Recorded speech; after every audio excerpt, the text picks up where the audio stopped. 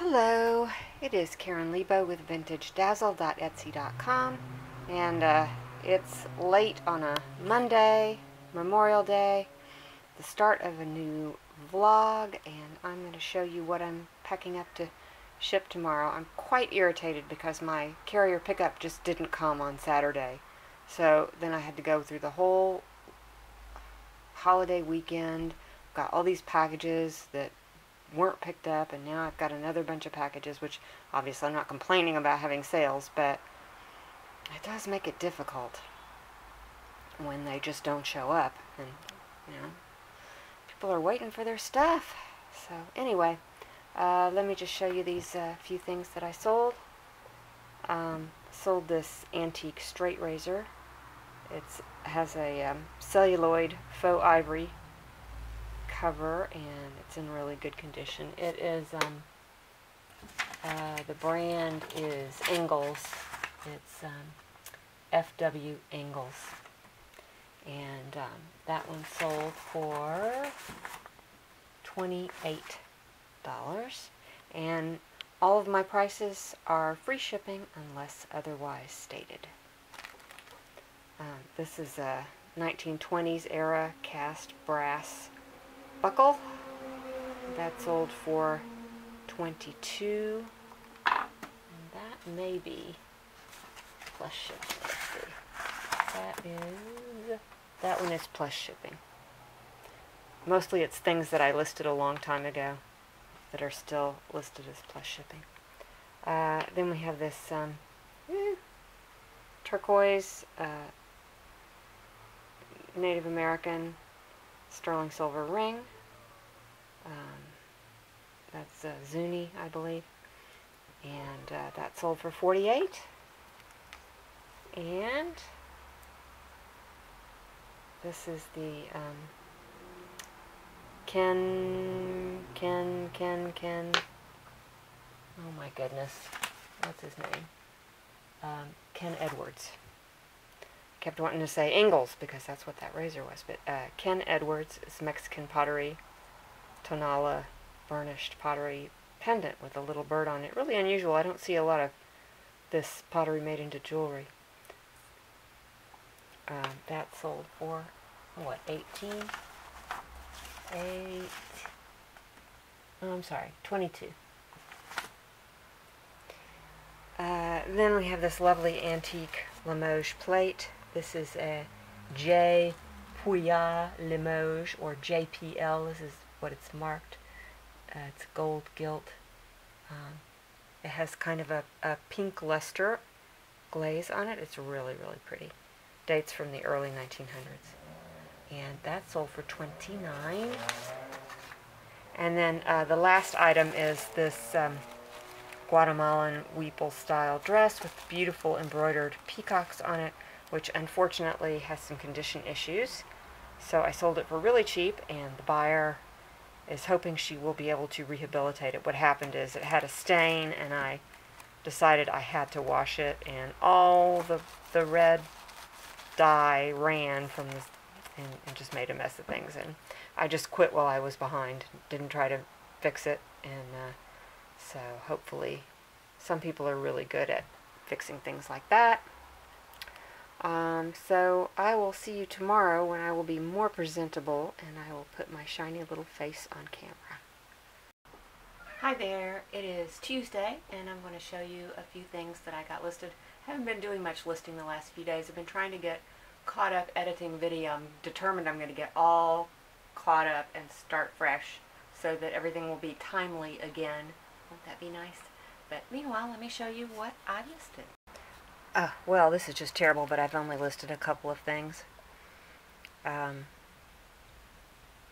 this is a really neat brooch with this very unusual, I don't know if it's a stone or glass, I think it's a stone, just because it's, you know, kind of irregular markings, but it's possible that it's art glass.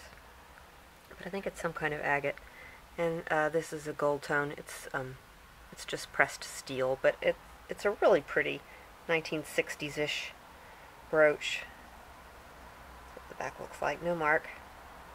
And I listed that for oh, 19.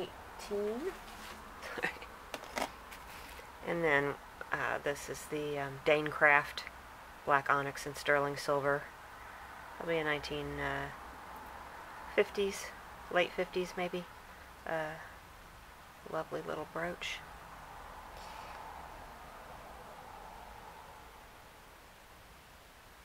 Uh, just trying to, oops, fix it so you could see the, uh, there, now you can see the mark.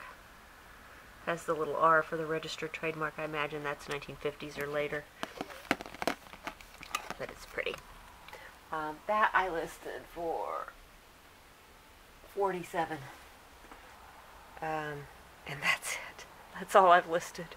Oh, terribly embarrassing. So, here's what I'm packaging up tonight. Um, this is a, a booklet from a the Panama Pacific International Exposition at San Francisco, and this was in 1915, and it's got these absolutely fabulous lithographs of all the uh, buildings. Look, wasn't this just, ah, oh, wouldn't you have loved to be there in 1915 and see all these wondrous things? Look at that. Wow. Just beautiful. 1915 happens to be the year that my father was born. So even he would have been too young to see this. but it's a beautiful book. And uh, that sold for $27.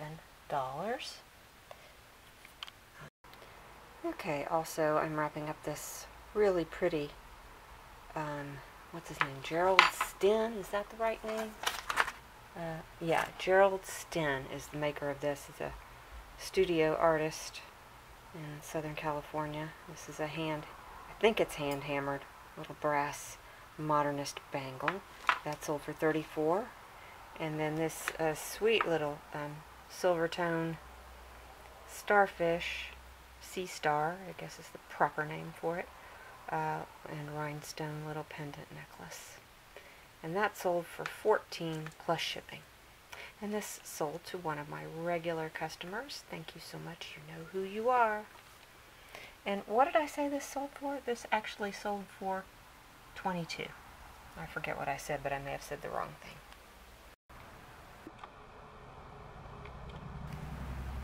Okay, so here's what I am packaging up tonight to ship tomorrow. We have uh, this cool necklace that's made out of like a nautilus shell. It's on a big heavy gold tone chain. And that sold for 18 plus shipping. And uh, this is a turquoise and coral Navajo sterling silver ring. And very unusual looking one. And um, that one sold for 77 And then lastly we have a pewter plate with a, I believe that's a grouse on it. And this is made in Germany. Uh, this was a, I guess it goes, he goes this way. There, now you can see him. That's better. Um, this was a gift many, many, many, many, many years ago. Um, eh, get tired of looking at things after a while. It's really pretty, though.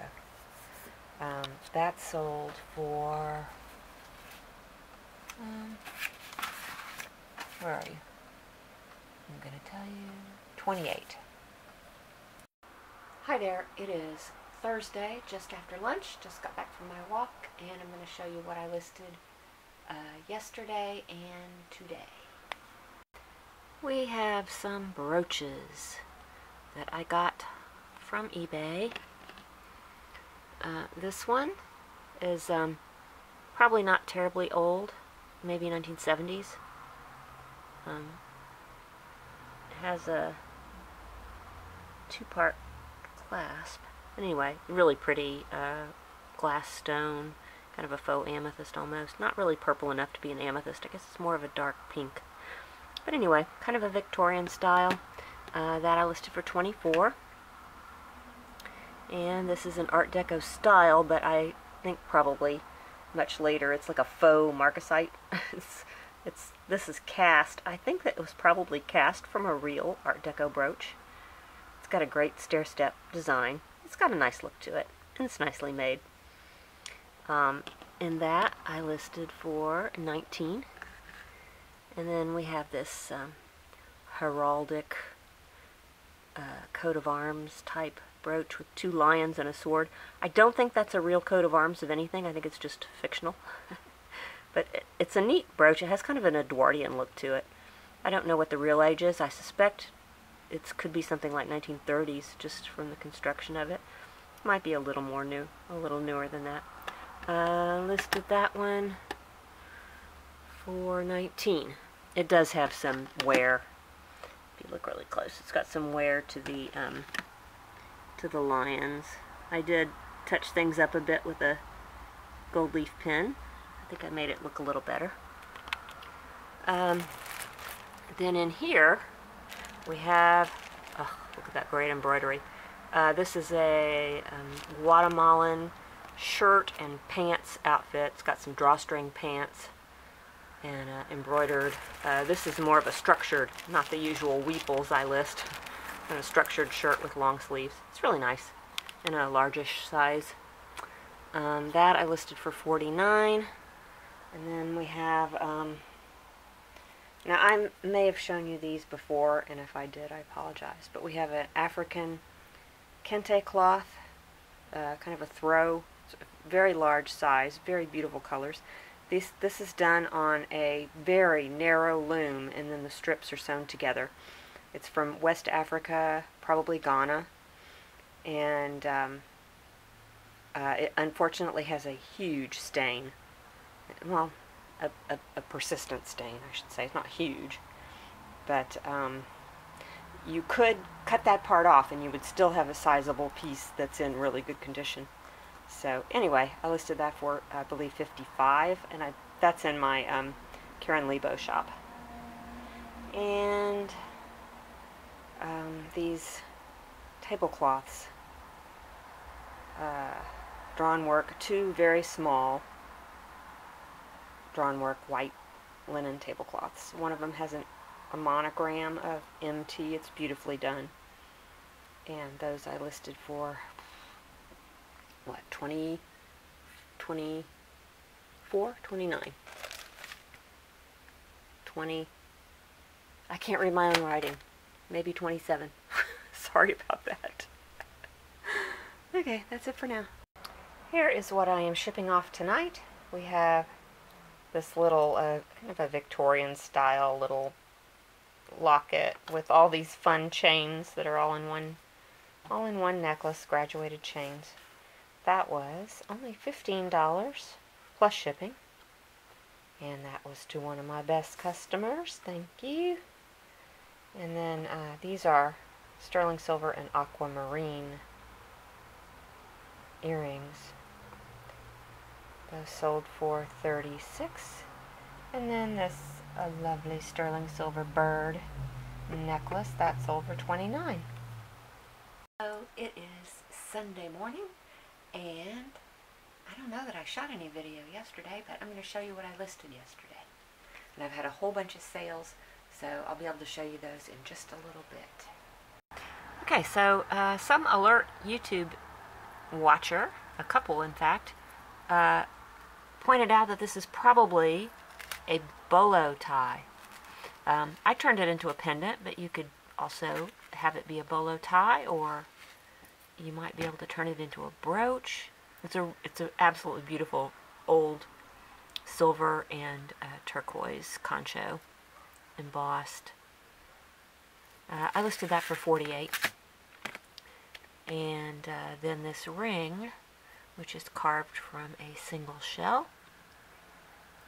Um, what did I list that for? I can't remember exactly. Um, I'll tell you in a minute. This, this um, FootJoy golf shoe keychain I did a little research on FootJoy. Apparently, if you're a golfer, you know who FootJoy is, but I don't golf, so. Uh, but anyway, it's a company that's been around in some form or another for like 150 years, and it has been FootJoy at least since the 20s, which is very interesting. Uh, cute little keychain. I listed that for 18, and then this little glove clip. I listed for 25 and then let me tell you what this ring is it is uh, 22 it's a nice big size too So, here is Long Beach under curfew. We have an 8 p.m. no, it was 6 p.m. to 5:30 a.m. curfew in effect because of the civil unrest. Not too far from me. But um, I guess people around here don't take curfews too seriously because everybody's just all over the place still. Everybody's driving. I've seen the skateboarders and the bicyclists and the pedestrians walk past with their dogs and so yeah. I don't know. But anyway, I'm going to show you what I'm wrapping up to ship off tomorrow, hopefully. I'll show you a cute kitty first. Muffin. Hi. Hi. Aren't you cute? Okay. Alright, uh, the first thing we have is this um, African basket. It is Nigerian and it's um, probably pretty old. I don't know too much about it. I did as much research as I could. Um, I believe I got this at the flea market for about $20 and I sold it for, oh, where'd it go? A, $188. I have had to wait a while for just the right buyer to come along, but they did. I'm very happy about that. Uh, let's see, we have over here in the linen department, we have, oops, ugh, what a mess, another embroidered tablecloth. Uh, I think this is another Eastern European. Um, it's got some beautiful inset lace and embroidery. Anyway, it's really pretty. Uh, $29 on that. It even has some napkins, I think. And then also uh, sold this absolutely uh, giant, well, it's a queen size white crochet bedspread with long fringe. Very nice piece. Also, I've had that for a long time. That bedspread I sold for 135. It's been a very good weekend. Um, let's see, what else do we have? Uh, the fetish necklace, the Zuni fetish necklace, which I just listed recently, sold to one of my favorite YouTube peeps. She bought it for a hundred and ninety-nine dollars. So I was worried that I had paid too much. I'm very happy that it's gone to a new home so quickly. Uh, also sold, which came in the same YouTube lot, this really cool ball pendant necklace, and I sold that to another of my favorite customers. And um, see the ball necklace, which did turn out not to be silver. Probably already told you that. Uh, that sold for. Where'd you go? I just was looking at it. Thirty-four dollars. Um, I sold this uh, bolo tie slide with a saddle on it. It it's not real copper, but it really looks like copper. Um, the bolo sold for fourteen dollars and fifty cents. What an odd price! I usually never price things other than whole dollar prices, so that's very weird. Um, let's see. I sold these two coin pendants. One is an Irish coin from 1928. One is a British, a UK, an England coin with Queen Elizabeth on it from the 1960s, I think. I think this is, yes, 1960s. Anyway, I sold the two of those together. Um, those sold for 19 together. I sold this itty bitty little pocket knife, which is actually a really nice one from Germany. It's got the maker name and everything. Tiny knife sold for $15. And I think that might be everything. One, two, three, four, five, six, seven, eight. What am I forgetting? I'm forgetting something. Um, pendant, necklace. Oh, I know what's missing. I sold a micro mosaic brooch. Let me go get it. And last but not least is this little micro mosaic brooch in the shape of a lute, I guess. And that sold for $24. And this will conclude my weekly vlog. Thank you so much for watching.